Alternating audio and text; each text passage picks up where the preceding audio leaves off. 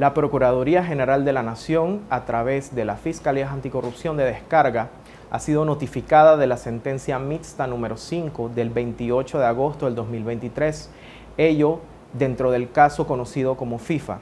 En este caso ha sido penalmente responsable el señor Ariel Alberto Alvarado Carrasco, quien fue condenado a 144 meses de prisión por los delitos de corrupción en el sector privado y delito de blanqueo de capitales.